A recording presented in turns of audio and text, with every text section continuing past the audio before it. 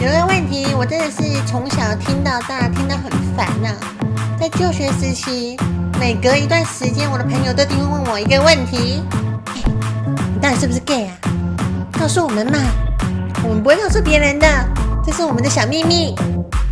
我在心里都 always 想说，老娘不是啊。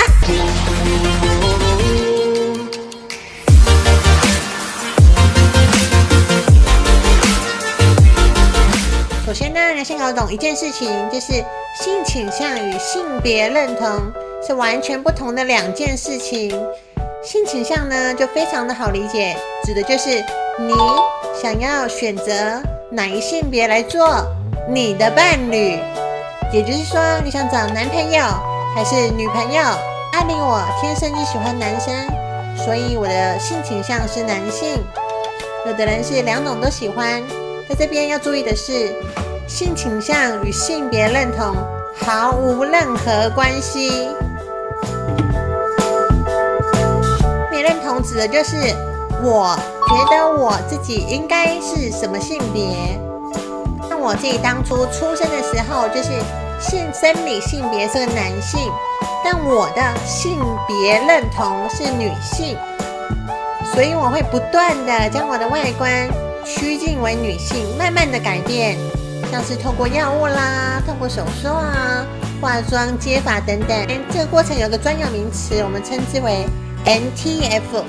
当然，大多数人的生理性别与性别认同是一致的，不然我们也不会这么辛苦了。再看一张非常简单的表，我来举几个例子。像是如果这个人的生理性别是男生，性别认同的是男性，性倾向是女性，这样的组合在一起就是男男女，也就是大家所谓的直男。如果这个人的生理性别是男性，性别认同也是男性，性倾向男性，男男男三个组合在一起就是大家所谓的男同性恋。反之，女女女就是女同性恋。像艾莉自己本身的组合就是男女男，我的生理性别一开始是男性，但是我的性别认同是女性，我的性倾向是男性，所以呢，这样的组合我们有个专有名词叫做 TS，是艾丽的偶像泰国的宝儿以及尤勋爱都是属于 TS 哦。现在又到了全民大会考的时间了，请问女男男的组合？是什么呢？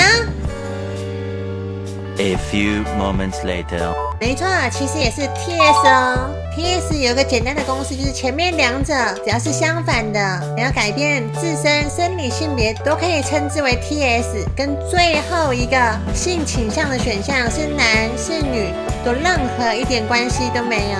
至于要怎么称呼比较礼貌，或者是该怎么去判断该如何称呼对方，我下一集再特别分享。